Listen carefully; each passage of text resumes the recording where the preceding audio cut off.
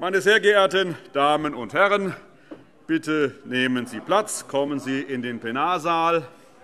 Ich heiße Sie herzlich willkommen zur 74.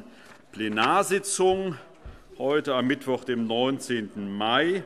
Ich darf Ihnen vor Eintritt in die Tagesordnung noch mitteilen, dass auf Ihren Plätzen Sie finden den Terminplan für das Jahr 2022, den Sie natürlich auch online äh, auf der Webseite des Hessischen Landtages finden. Ich eröffne die 74. Plenarsitzung des Hessischen Landtages und stelle die Beschlussfähigkeit fest.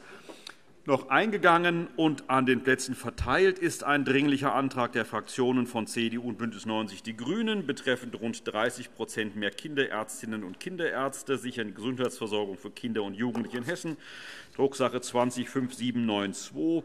Da fragen, ob die Dringlichkeit bejaht wird. Das ist offensichtlich der Fall. Dann wird dieser Dringliche Antrag Top 87. Und wenn Sie einverstanden sind, rufen wir den mit dem Setzpunkt der Fraktion der SPD zum Thema Gesundheitsversorgung für Kinder und Jugendliche sicherstellen. Das ist der Top 55 und mit dem Top 14, das ist die Große Anfrage der Fraktion der SPD, zusammen auf. Alles klar, dann machen wir das so. Weiterhin eingegangen und an den Plätzen verteilt ist ein Dringlicher Antrag der SPD betreffend hohe Defizite beim Klimaschutz in Hessen, Drucksache 20-5793. Auch hier frage ich, ob die Dringlichkeit bejaht wird. Das ist der Fall.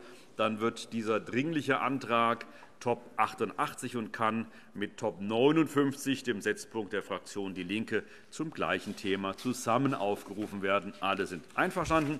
Schließlich ist noch eingegangen und an den Plätzen verteilt ein Dringlicher Antrag der Fraktion der AfD betreffend Freigabe der NSU-Akten, Drucksache 20-5794. Auch hier frage ich, ob die Dringlichkeit bejaht wird. Das ist der Fall.